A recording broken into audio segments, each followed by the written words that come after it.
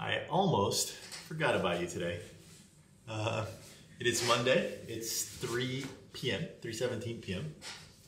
Getting ready to leave the office early today. Um, got a little bit more work to do later, but um, I started up CrossFit. So I've been doing like the basics covered in the morning, and then I got to go get my actual lift in in the afternoon. So about to go get a lift in, but um, Monday, same old thing. We always start the week off with our leaders, um, getting them kicked off. Um, it's kind of like the most important thing you can do, I feel, is get your senior most people aligned, uh, super rich in context, and uh, and you know running their teams. And if you think, if you're thinking to yourself, are things changing so often? It's only just been a week. Yes. I mean, sometimes things come up. Sometimes there's key projects that you don't want to bottleneck, and sometimes it's just good to go over the same old thing. Um, so I know a lot of people talk about efficiency. I'm not that efficient of a guy. I am very effective, though, meaning I'll get the job done, but um, it's not necessarily like you tell me once and then I'm running with it. I need to hear it over and over again, examine it in every single way. So I know all these blogs and stuff have probably oversold us on efficiency, right? You want to be super efficient.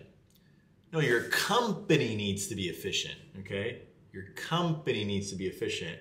But my decision making process at the top just needs to be effective. And yeah, a lot of the operational decisions, so the things that are happening on a mundane, like that, that can be efficient. There's no need to spin your wheels on a bunch of shit that happens day in, day out, right? Anything that's mechanical, repeatable, can be automated, therefore it can be efficient. So efficiency all up and down the org. But then when you get to the strategic layer, right? So people that are deciding on strategy, I think that that should be probably half efficient, half effective. So you should have some kind of process that you follow.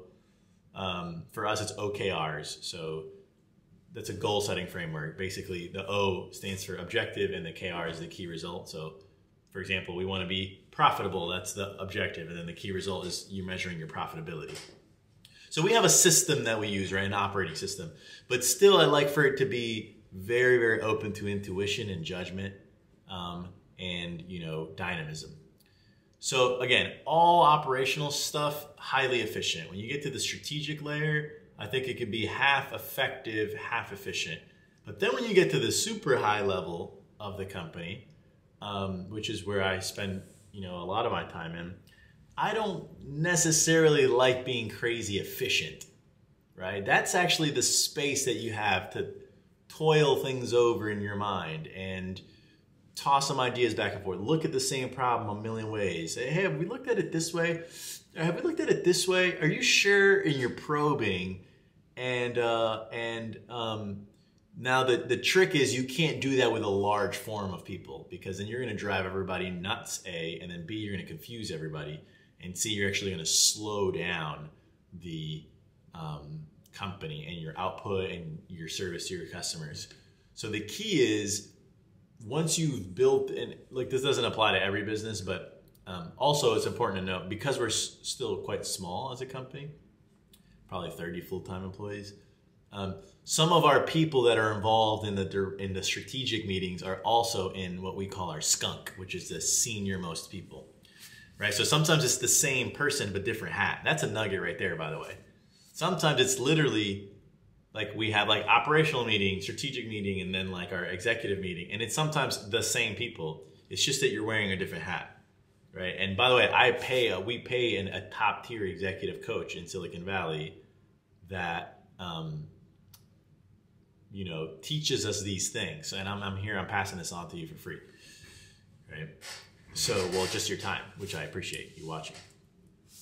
Um, and I, by the way, I can't believe that some of you guys really are tuned in like that. It, it, means a lot, and also it's encouraging me to just continue to lock in on a on a you know regular cadence. Because we're we're in a groove now of this thing. I feel you know I started with a day or two, and then I took some time off from because I had to move to Austin, and then I was producing slowly. But now, as you can see, I'm producing more frequently, probably four or five days a week. But um, so yeah, so the nugget was our coach reminded us, hey, remember you can have different hats, same people, different hats. So it's role versus soul is the framework that we use, right? So you can have the same soul, right, but be thinking from a different role. Um, you should also think about that when you're deciding on who to hire and who to fire. Hey, one thing is like I like this person, but what are the roles that I need here? And that will help you think more clearly. Sometimes you want to over-index for the soul, sometimes the role. Everything depends in startups, as you'll see. But but anyway, the point is that when you when you're in this space of like very effective ideating, you don't want to drag it down with the need to be hyper fucking efficient and everything a number and everything a process and everything a this and a that. But the key is you want to keep it a small forum meeting. You want to make sure all the people that you need in the room are there, and you want to keep it to like six or less, ideally we're, we're we have five people, but that's only because we have co-CEOs. I think like it would be four people if we only had one CEO. Um, and if you're curious, yeah, the CEO thing I think, uh, the co-CEO thing I think works works well enough. Um, I don't think I could run the business by myself, as to be honest, right? Like, I'm a very good CEO in certain aspects and not so good in others.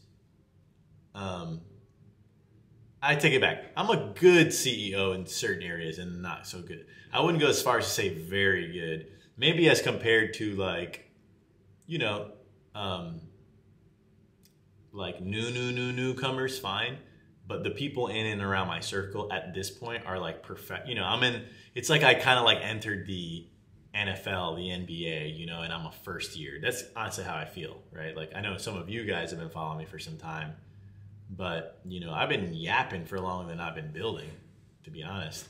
Right? Like I was a CEO of like a little laundry business when I was 18. I did that for three years. I got some good experience there, managing like 15 people at a young age but then from there, you know, I ran an incubator. I was a CEO, but of a, of a non for profit incubator, eh, a little different. And then I was a partner at a firm, very different. And then I was kind of like a media persona, different. This is my first time not being the CEO of an operating company, because I did that with my laundry business, but this is my first time being the CEO of a venture backed company. And um, and it's a humbling experience because you're in and around I, I, get to be around people right? Because why? Why is that true? Why do i get to be around other top tier ceos well because the investment firms that invest in us right in loop which of which by the way we have many right? Because when you do a financing like we raised 20 million dollars in october 2021 it wasn't just one firm it's probably four or five firms that each write you a check. And each one of those firms invest in a bunch of other businesses. And so, you know, then you get, they typically invite you to go to these things once a year, or sometimes it's like on Zoom, and you get to meet all the other CEOs, which are all other professional CEOs. Many of them also first time founders. Everybody dealing with the same imposter syndrome everybody dealing with are we going to die as a company? Am i going to am i good enough? Am i not? Um, but what happens when you deal with these firms as we've been lucky to deal with that have a good amount of history like in our case our lead investor foundry they the foundry's been working with the same founders for a long time. Sometimes 20 literally 20 or like i don't want to say 30 but sometimes 20 years. Like a founder that invested like started something sold it or failed and then tried again and Foundry backed him again and again. Like, you know, there is legitimately a small group, but a group of guys and women that like um, know their shit. Like I'm ima- imagining, imagine all the stuff that if, if you're watching this, you're probably run some kind of business or I don't know. By the way, could you guys let me know in the comments? You know, are, are the people watching startup founders, aspiring entrepreneurs? Are you small business owners? Do you work in a corporate and you're just interested in startups? Um, or any other variation of that? I'd be I'd be curious to know. But but uh, uh, uh, fuck, I forgot what I was saying. Oh yeah. So yeah, this is this group of like guys and women that like are very good, are very very good, and that's who I like to measure up against. And you know, maybe as compared to the average business person, certainly when you look at America comparatively, you know, I would put myself in the top decile. But then when you hone in on like um, for size, like scale of company, you know, there's a lot of CEOs of companies that we never heard of that you know are very efficient, produce very good results, and are not out there on social media or YouTube fucking blabbing about it. They're professional CEOs. They keep even dispositions. They do this for a living. Some of them aren't not even founders. Some of them are literally just hired guns. Like once a company is sold and bought and sold again, you just hire a CEO to run that shit. And so, you know, the whole point was I'm good in certain aspects, Carey's good in other aspects. Together, we are much stronger as a team because an insurance company is kind of a complex thing to run. And if I were the one purely running it, it would lean a little too heavily in my style, and then she were the one, she were the one, it would lean a little too heavily in her style. So in our case, we're kind of a two-headed monster that um, I think works well to do the storytelling that we need to do and raise the capital, and then also produce the um, very technical side of the business that I don't I don't really talk about as much here because you know it's not my side of the house. But anyhow, that's Monday, right? Aligning your leaders, and remember what are some of the kind of I'm going to interact a little bit more in, in this while I'm. I'm just feeling it. Maybe it's because it's sunny out.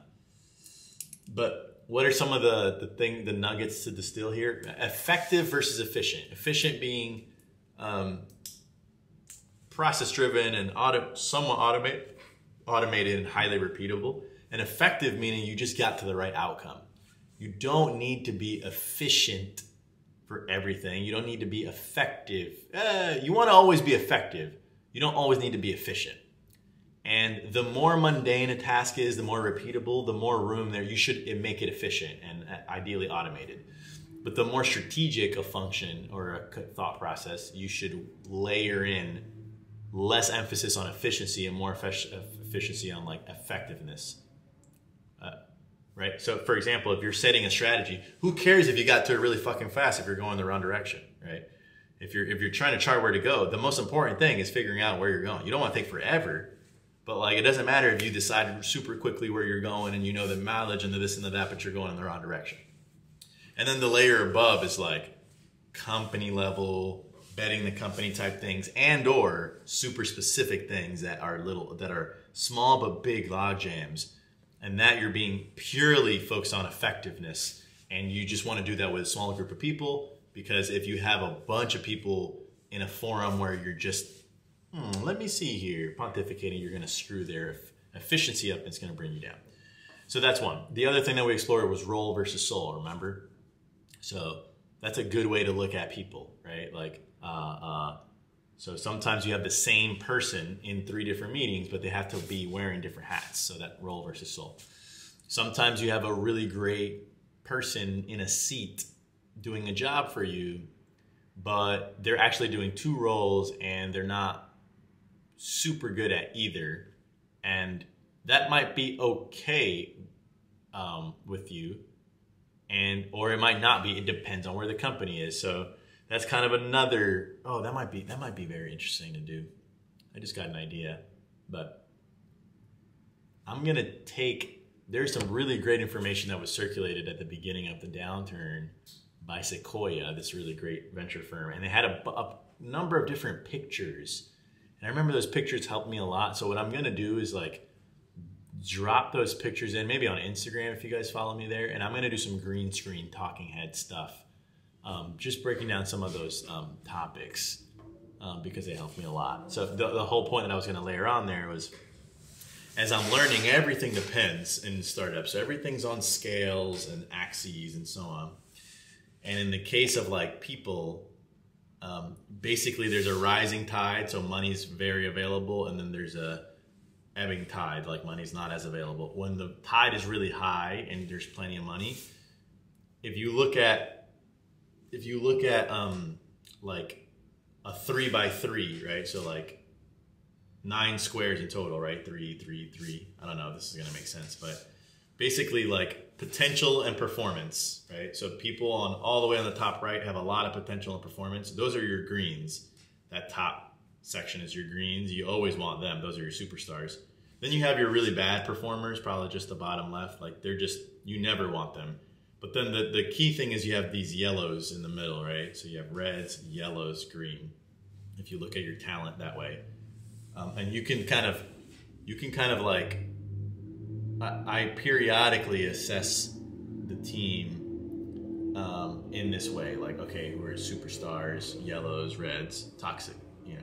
And toxic talent risks, they might, they might just not be good for your company, right? Like, they might have just gone through bad experiences that were your fault, to be honest, or my our, our fault. Um, um, and then they stop believing in the company, and then eventually they sour, and then they, they bring other people down. So you really got to be careful for that. But but so that's easy, right? If they're green, yeah, you want to fucking keep them and nurture them, and if they're red, you got to get rid of them. But the yellows is the is the kind of the key thing. So when there's a lot of money, you can afford to have the yellows. Like a yellow might be someone who's really good at their job and they want to grow into the next job and they've never done that job before. And so, you know, it's not ideal when you have low resources because then they got to learn on your dime, right? They got to, uh, but it is ideal when you have a lot of resources because then you can teach them the job, even though, you know, they're learning on the job, you're developing this talent and they're going from a yellow to a green and then ideally they stick around in your company. So it, so there is no one thing, no one strategy that's always good every, at, at every time. And that's what makes this game so hard is everything depends. And as you get smarter, you start to be able to discern, oh yeah, that's right, I did that thing and that was successful then, but it's a different market now. Or um, uh, or the consumer sentiment is different, or the capital availability is different, or I'm in a different stage in my business, or we just need a different thing now, or I have a different type of manager that leads this type of these teams differently. Like there's so many, so many variables to consider at all times that makes this probably one of the harder things to do. Um, as you grow, more things become cemented and there's less ground around you moving. And as the ground settles, there are less variables to consider. And then slowly you start to develop some normalcy. And that's why big, particularly, I think the big variable, by the way, here is growth, right? Like when you're like, we grew 230% last year, year over year you know, we'll probably do a similar amount this year. And so like as you're growing super fast, that's that's if you're wondering like why all this change, that's what it is. It's the growth. But as you flatline a little bit in your growth, and then then you become more of like think of like a blue chip stock, like these companies that they probably at one point had their success, and then they just hold value. And when you're not growing as quickly, things are changing less quickly the, which means jobs within the company are changing less quickly, which means you start to have people that value predictability and normalcy work for you, and the pace slows down, and decision making slows down, and um, there's a view that people have that those companies are probably slowly going out of business. I'm I'm in that camp. I think that those companies are slowly going out of business. However, there's a devil's advocate view, which I also somewhat believe, which is like it's not a bad place to be. If you're a fucking 60 year old company, you've been cash flowing for a, a long time, like a motherfucker, somebody owns that business. Somebody's cash flowing. Uh, there's a family out there, many families out there benefiting, you're employing people, and so on. So, I would like Loop to be big, old, and boring at some point. To be honest, you know, it's not. It's not that that that wouldn't fulfill me per se, but I would feel like we created something successful if we serve our customer really well. And our customer, by the way, some of you may not even fully know what we do, but we're a car insurance company. And we created some technology that basically allows us to price risk without using credit score.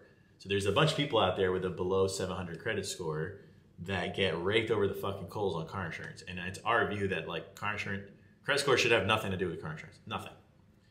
Credit score should be used for a loan, but car insurance is paid in advance, so your repayment capability is like neither here nor there. It was baked. FICO credit score was baked into insurance in 1989. It hasn't been, and maybe at the time it was like the most cutting edge data, but today we have phones and we have driving data and telematics and blah blah blah, and like we, we just found a way better way to do it. So basically, our technology takes anybody with a sub 700 credit score but a really clean driving record, um, and we give that person a much better price, and then you know we, we basically we have that IP that that technology, and we wrap an insurance product around it right? Because with that IP, you can probably build a bunch of different businesses off of it. But we decided to become a full stack insurer, which means we do our own claims, customer care, blah blah blah. Because the more vertically integrated you are, the more you can, the more value you can capture.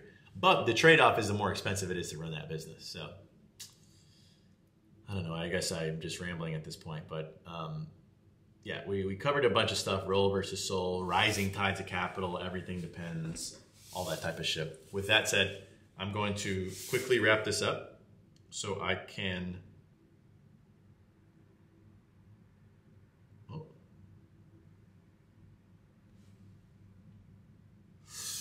Duty calls. I'm going to quickly wrap this up so I can uh, um, upload it and um, we'll call it a vlog. Sorry, there weren't a lot of different shots in this one, but there was like a lot of good information. So um, hopefully you enjoyed. Let me know um, where you're watching from, where, where you're based physically, and also let me know if you're a founder, aspiring, corporate, you know, we talked about that. And also thank you for watching. I appreciate it. Peace.